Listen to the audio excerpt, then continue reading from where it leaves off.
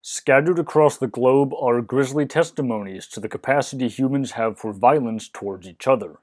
From the cannibal pits of Herxheim, may be evidence of a last ditch effort to avoid starvation in the wake of ecological change, to the cemetery of Jebel Sahaba, which could be the earliest evidence of war in the archaeological record, although that's debated, to dozens of severed heads buried beneath the foundations of Shimao, interpreted as being some sort of a ritual based around human sacrifice, which would become common very shortly under the Shang dynasty, it shows that Homo sapiens have a long history of violence. But we are not the only species of hominid to exhibit such tendencies.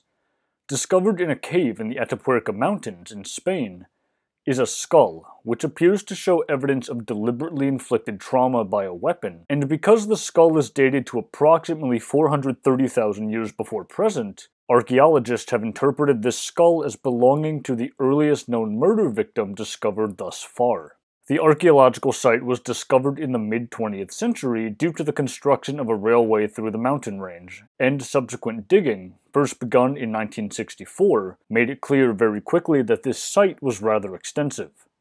There are several individual focus sites within what is collectively a cave network, showing evidence of use by multiple hominids, notably Homo heidelbergensis, probably Homo erectus with that particular find possibly showing evidence of cannibalism, Homo antecessor, which also seems to show evidence of cannibalism, and Homo neanderthalensis, or Neanderthals. Deep within this cave system, accessible only through narrow tunnels and then through a vertical shaft approximately 40 feet in length, is Sima de los Huesos, the pit of bones. To date, there are over 6,000 fragments of bone that have been discovered in this pit, and based on jawbones and portions of skulls, there are estimated to be at least 20 individuals here, possibly as many as 29 or 30.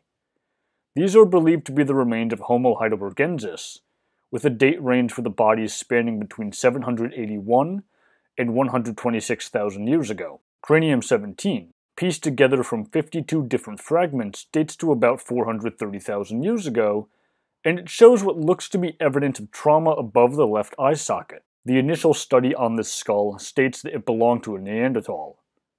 However, because that was published in 2015, the subsequent decade has led to more digging, and now that Sima de los Huesos is considered to be the single largest find of Homo heidelbergensis in the world, that identification is starting to change, although there's some argument that maybe these were archaic Neanderthals. It's not entirely certain as of yet. So why is this thought to be a victim of homicide?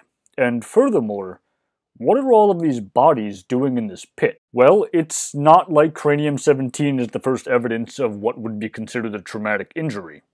There is plenty of archaeological evidence that indicates cutting or things of that nature, generally after death, but in terms of lethal injuries that were received while the individuals were alive, there are two other major examples in the archaeological record. The first is a Neanderthal known as Shanidar 3, which shows evidence of something, likely a projectile point, penetrating the ninth rib and damaging the bone. The second example is the Homo sapiens known as Sungir 1, which received trauma, also thought to have been inflicted by a projectile point, this time to the first thoracic vertebrae. Both of these injuries resulted in death, but they don't seem to have been immediate, since both bones show evidence of healing, Evidently, though, these were wounds which did not mend properly.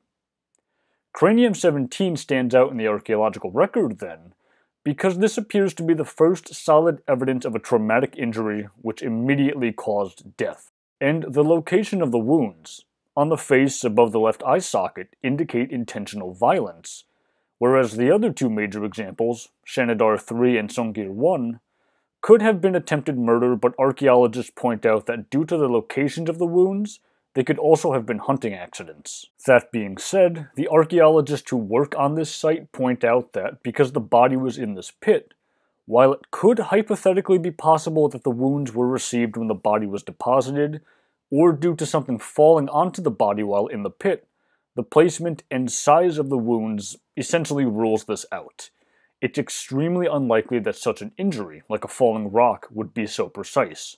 It's also been advanced that this individual had fallen, but that has largely been ruled out because the pattern of Cranium 17's injuries don't match what an injury resulting from a fall especially on the skull, tends to look like. Humans, and hominids in general, attempt to break their fall, so typically when an injury does occur, it's on the side of the skull, and that trauma tends to be associated with big fractures, not localized acute damage like this. So, because of these objections, archaeologists lean towards a deliberately inflicted blow as an explanation for the trauma.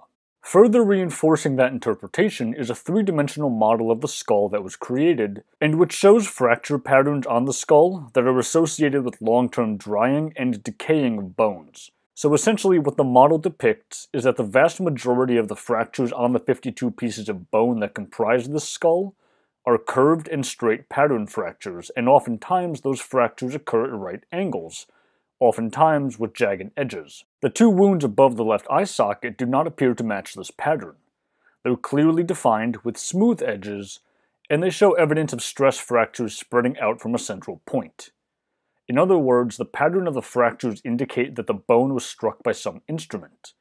It occurred while the bone was still covered with tissue, and it does not show any evidence of healing unlike the Shanidar 3 and Sungir 1 injuries. What we are looking at then is probably the oldest murder currently known.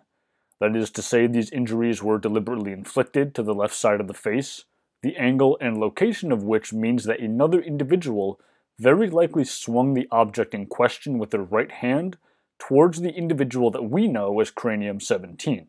So then, what is this murder victim doing in the pit of bones? Did the murderer stash the body here? Well, not quite. Located among the bodies is a hand axe, one of the most ancient types of tools and used by multiple hominids. Their function is still debated, and it's possible that they had multiple uses, not strictly limited to utilitarian functions like chopping meat. This particular example is known as Excalibur, and it is made of red quartzite. Because it was found amongst thousands of bone fragments, an interpretation that's been advanced is that this is evidence of Homo heidelbergensis being cognizant of, well, death, essentially, and possibly having some conception of an afterlife. Basically, Excalibur is interpreted as being a funerary offering for a dead individual, what we would later come to understand as ceremonial burial. Cranium 17 could be interpreted then as having been murdered, and then placed in a burial shaft which saw use for hundreds of thousands of years. Is that interpretation correct, though? Well, that particular bit is still up in the air, but as digging at Atapuerca continues, and as anthropology as a whole continues to advance, that question may eventually be able to be answered.